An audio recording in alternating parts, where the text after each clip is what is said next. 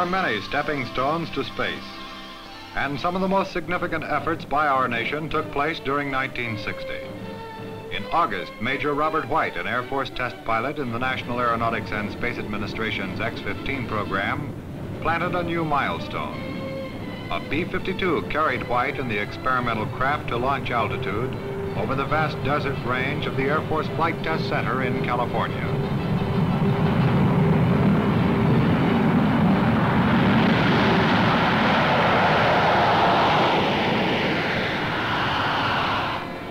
Only eight days before this flight, NASA test pilot Joe Walker had pushed this same X-15 to a new speed record for a piloted aircraft, 2,150 miles per hour.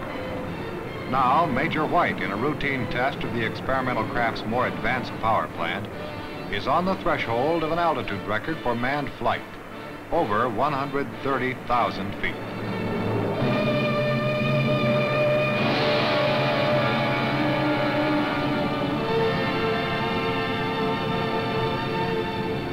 The flight was a success. Now just one more job grease this baby in at nearly 200 miles per hour.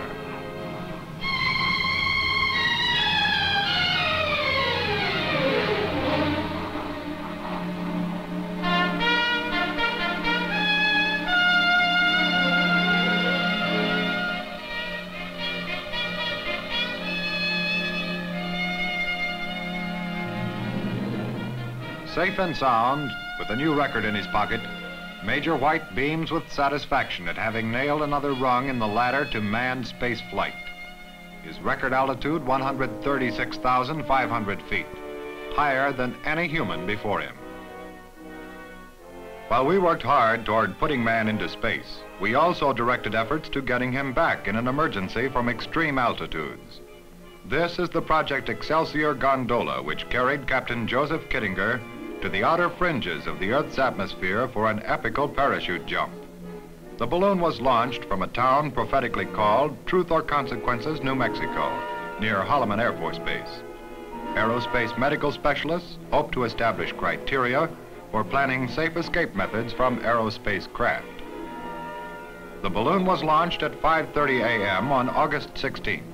An hour and a half later, it reached its zenith, 102,000 800 feet above sea level. The moment of truth. Captain Kittinger prepares to jump. Almost 20 miles, straight down.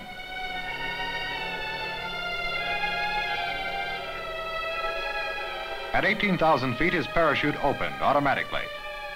Kittinger had fallen free for 10 minutes and at peak velocity had been moving at 614 miles per hour.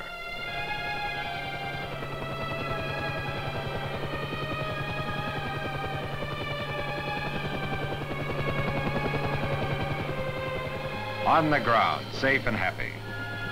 His associates pull off the 155 pounds of clothing and equipment which protected his 165-pound frame. You talk about high steps. Captain Joe Kittinger can tell you about the world's highest. As bold an achievement as this jump proved to be, another equally spectacular achievement in the Air Force Space Program occurred just four days later. At Vandenberg Air Force Base, a Thor Agena rocket is poised to blast a Discoverer 14 into orbit.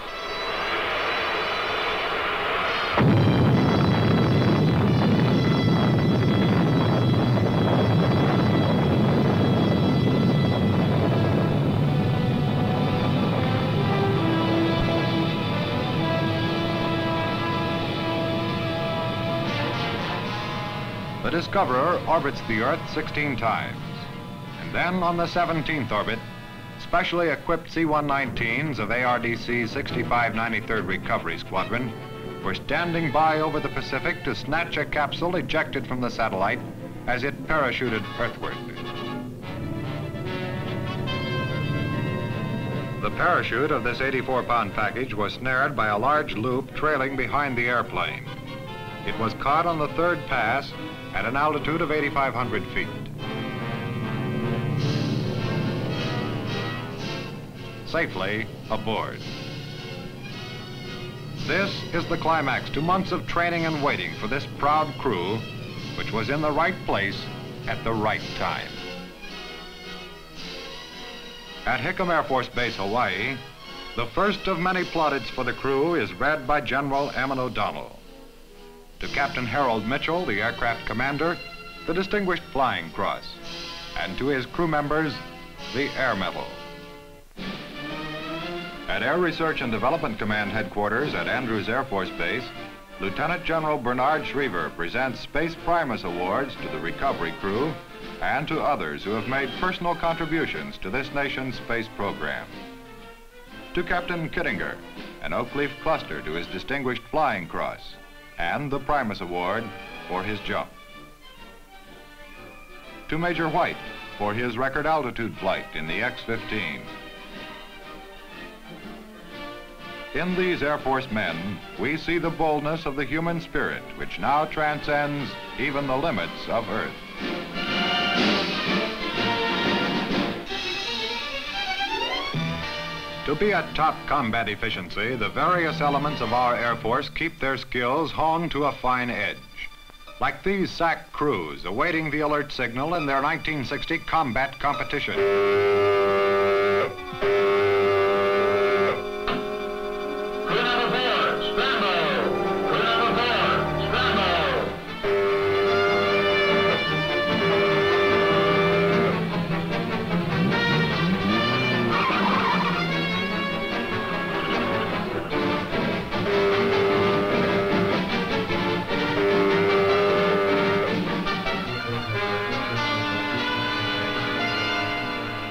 The judging of these crews is how fast they can get from their alert quarters to their airplane and ready to roll.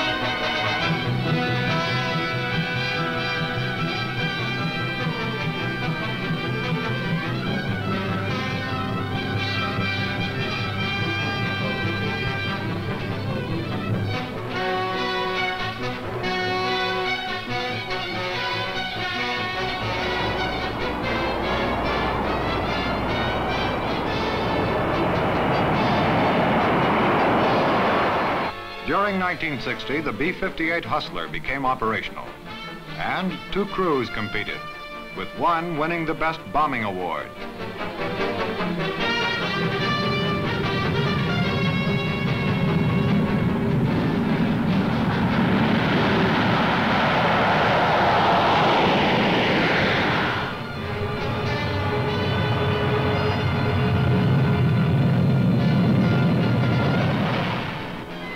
Refueling is another factor in SAC's combat competition, and all types of planes compete.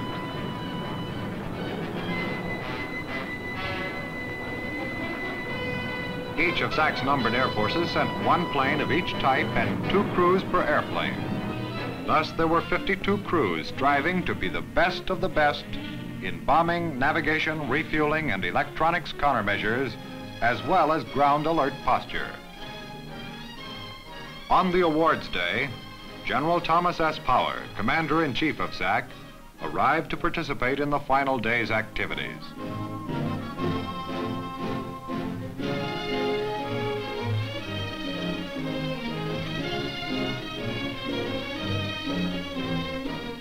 This is the climax to a truly remarkable demonstration of professional airmanship. The achievements of these SAC crews, from the maintenance man to the aircraft commander, reflect the strength of this nation's primary deterrent force. The overall competition winner for 1960, the 11th Bomb Wing from Altus Air Force Base.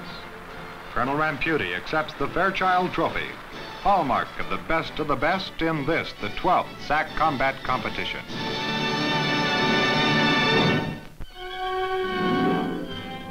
Tactical Air Command 2 flexed its muscles in 1960. TAC, which operates on a theory of high mobility with composite airstrike forces, showed how its fast-moving, hard-hitting forces can cover the world. A self-sustaining composite airstrike force is about to jump off across the Pacific to Thailand in an exercise called Mobile Yoke. Also in 1960, a similar force deployed to the Middle East in an exercise called Quickspan.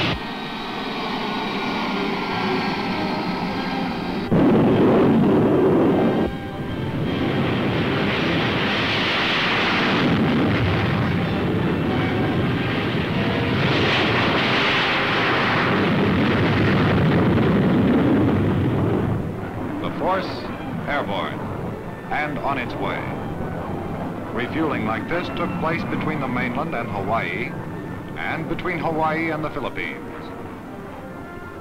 The 7,000 mile Pacific hop was made just a few hours flying time. Destination reached.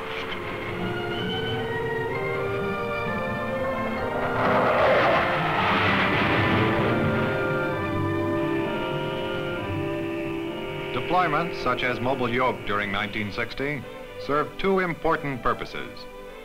They foster goodwill between ourselves and our allies around the world. And they serve notice to any would-be aggressor that the Tactical Air Command can get there in a hurry with a powerful punch. Of course, it's not all business. After all, a guy's got to relax.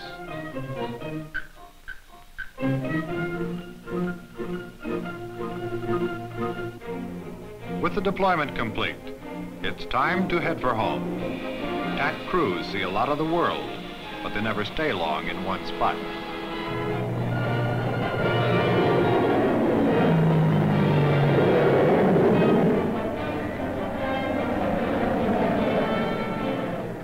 The Tactical Air Command in 1960 demonstrated at home and overseas its ability to react swiftly with a determination born of dedication the maintenance of peace.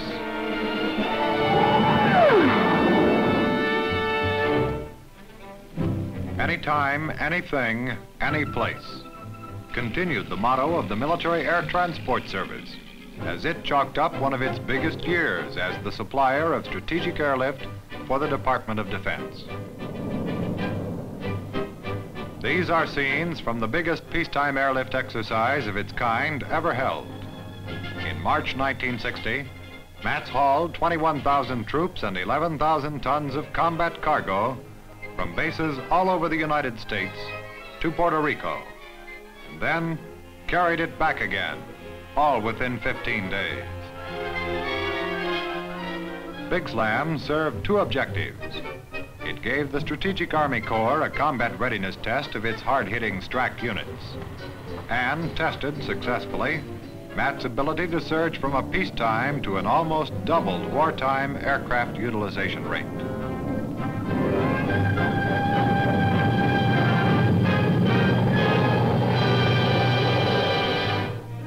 Lessons rehearsed in Big Slam were put to use during the summer when the United Nations called on this country to supply airlift to the troubled Congo Republic. MAT C-124s and C-130s from the United States Air Forces in Europe brought in 75% of the UN troops and 19 out of every 20 tons of supplies. Refugees were the prime cargo for the return flights from the Congo as United States airlift responded to United Nations appeals for help in the troubled heart of Africa.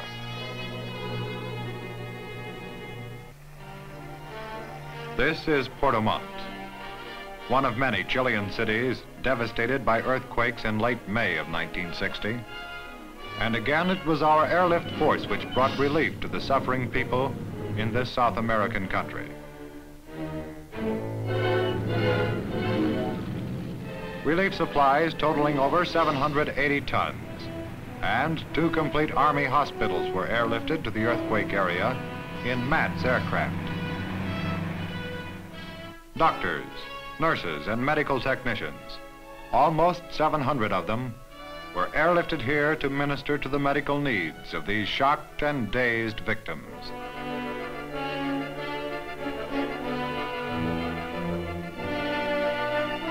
With thousands homeless and normal transportation facilities disrupted by the quakes, airlift planes flew hundreds of refugees to cities outside the earthquake zone, where they could live with relatives or with friends who opened their homes to these unfortunate victims of a rampage of nature.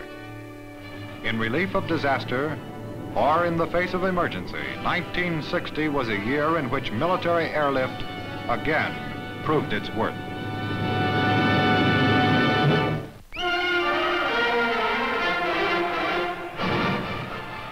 Force Academy Falcons take to the field in Baltimore's Municipal Stadium for their first gridiron meeting with the middies of the Naval Academy. The Middies, undefeated and nationally ranked, are favored to take the margin of the men in blue from Colorado in this, the first of what will likely prove to be a traditional inter-service rivalry.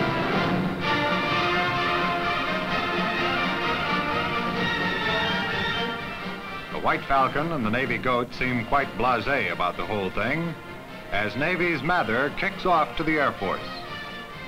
There to take it on his own 12 is Don Baucom, who returns it up the middle to the 32. The Falcon's forward wall works well all afternoon, but the Air Force could not sustain an offensive march. A holding penalty inside the Navy 10 forced quarterback Mayo into setting up a field goal attempt with a third down pass. Mayo holds, Mike Rollins kicks, and the Air Force draws first blood. The Falcons lead 3 to nothing midway in the first quarter. The Middies are unable to move successfully and try a field goal of their own from the 33. It rolls dead on the Air Force three-yard line. The Falcons can't move it out. Mayo's punt attempt is blocked and the ball bounces Navy's way out of bounds on the six-inch line.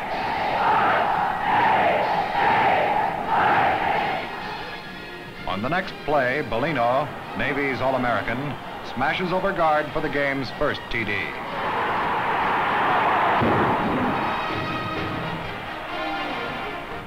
Navy passes for two extra points. Richie Mayo, rated one of the nation's best passers, found very few receivers this day. This one to Mike Quinlan in the second quarter clicked. The breaks just didn't go the Falcons' way. Navy put together two sustained drives for TDs. Penalties and intercepted passes set up two others. The Air Force had few plays like this Mayo to Parma pass to cheer about. In holding the Air Force, the Middies scored in each of the four quarters, twice in the second. The Falcons' attack just couldn't get rolling against a smooth Navy combination led by Joe Bellino. The Air Force gridders can only look forward to future outings when, in building an Air Force Navy football tradition, their time will come. In football, 1960 was not a banner year.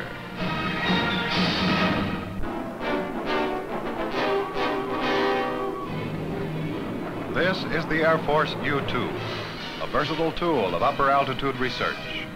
In June of 1960, this unusual aircraft completed a three-year program aimed at measuring amounts of radioactive fallout in the upper atmosphere generated by nuclear testing.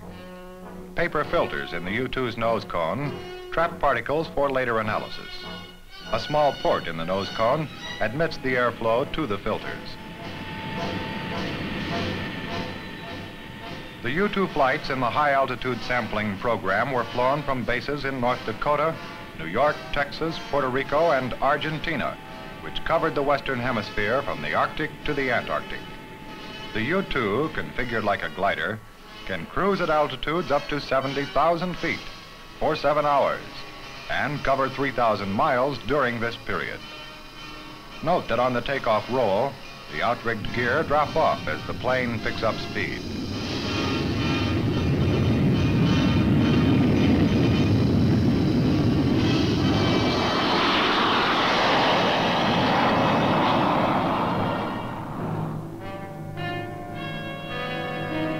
During the three-year program, over 4,000 samples were evaluated and the findings placed in the United Nations Library. Information which the Defense Atomic Support Agency has determined will help the peoples of the world understand the unseen and needlessly feared phenomenon emitted by nuclear testing.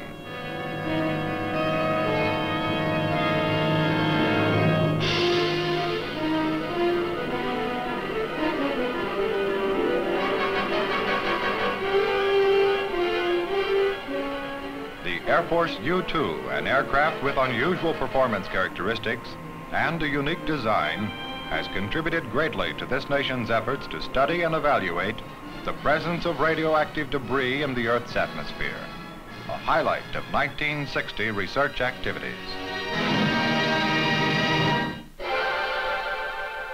Missile research and development quickened in pace during 1960.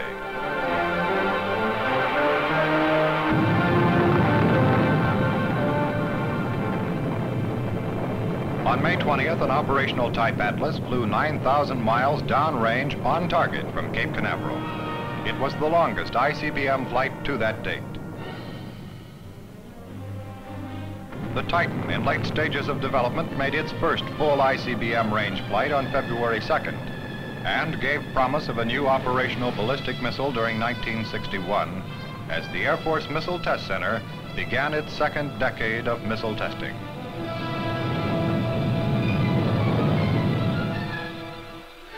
A new ICBM came on the Air Force scene in 1960.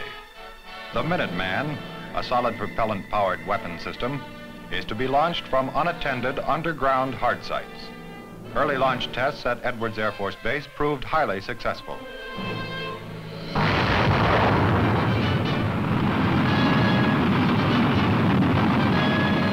Since these tests were to study only launch characteristics, cables were attached to the missile to restrain it from flying too far.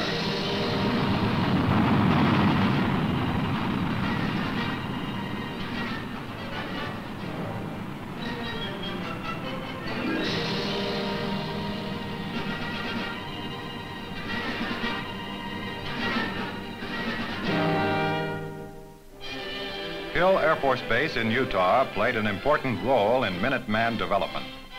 Because of its solid propellant engines, the Minuteman lends itself to a mobile launch pad concept of operation. This train is actually a test unit, which may someday deploy the Minuteman around the country on existing rail lines.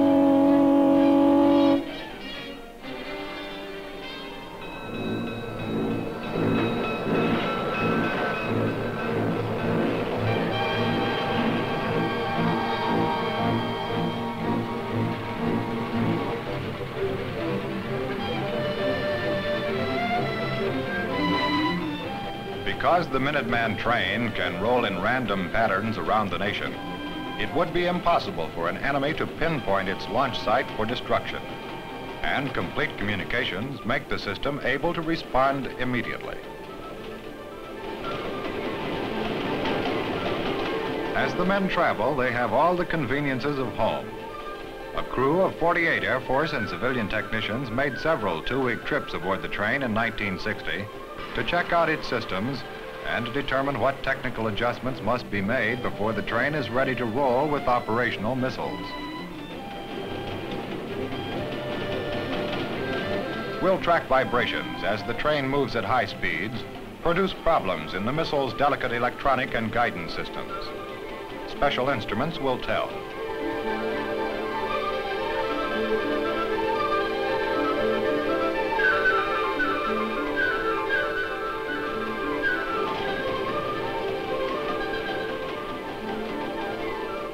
Will the train's extensive communication systems experience problems in maintaining constant contact with SAC headquarters as it flies the mountain railroad routes? Minute by minute contact with the command post at SAC headquarters was always maintained, and the system performed so satisfactorily that future plans for deploying the Minuteman aboard these mobile launch pads will add to this nation's deterrent posture. So with the train concept and an underground silo launch capability, the Air Force is developing a one-two punch with the Minuteman ICBM.